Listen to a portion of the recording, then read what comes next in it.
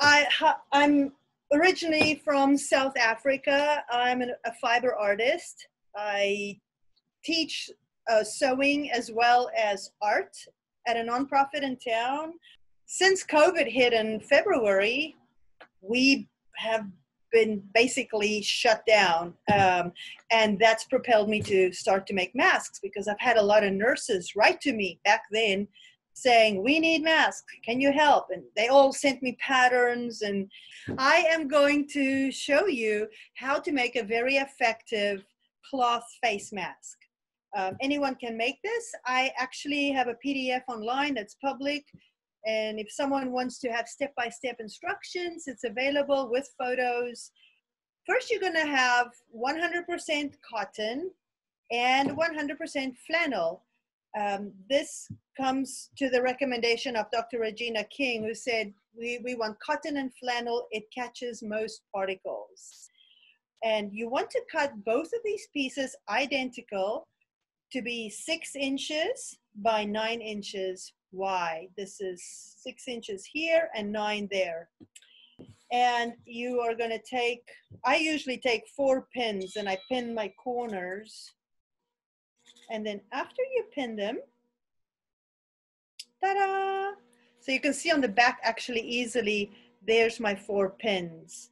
And now you're going to sew it all the way around, but you're going to leave an opening because we're going to turn it inside out. And for speedy sake, I did one. So I sewed this, and I'm to show you on the back because then you can see the sewing lines. Now, before I turn it inside out, I'm going to take my scissors and I'm going to chop off my corners. And I don't cut into the sewing, but just the, the stitches, just right before the stitches, I trim those corners so that when I turn it inside out, and I have a little paintbrush that I like to use. And my paintbrush helps me to get those corners nice and 90% sharp like that. Here we go. So we have this opening right here. It's going to naturally fall in the seam to meet each other. So right there where it falls in, I will put a pin in to hold it shut. And then the next step I'm going to do is I'm going to put in two pleats. So I start, I'm going to do it this way and then I'll flip it around. I start here and I pinch it and it's like an inch wide here and I fold it over like that. You know, and it doesn't have to be perfect, but it has to just suffice because you want it, you want, once someone puts it on their face, it'll open up and so here's my first pleat. Then I'm going to do another little one. And after having made hundreds and hundreds of these masks, I pretty much can make this in my sleep now. So here we go. Ta-da! So after you sew it all the way around, it's to look like this. So see how it's kind of that's all sewn shut. But there you go. Here's my two straps. And I'm just to find the middle of each strap. There it is.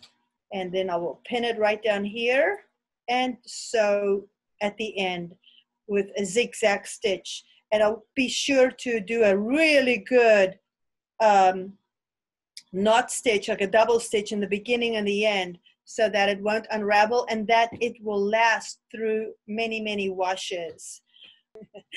so here you go. And then you can just tie it on. Now, what I like about these masks, I hope you can hear me talking through this mask. There we go. Tie them on. So what's nice is it doesn't pinch my ears because it goes around my head.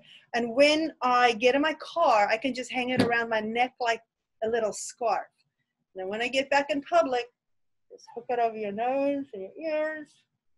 And there you go. Um, so it's, you know, fashionable.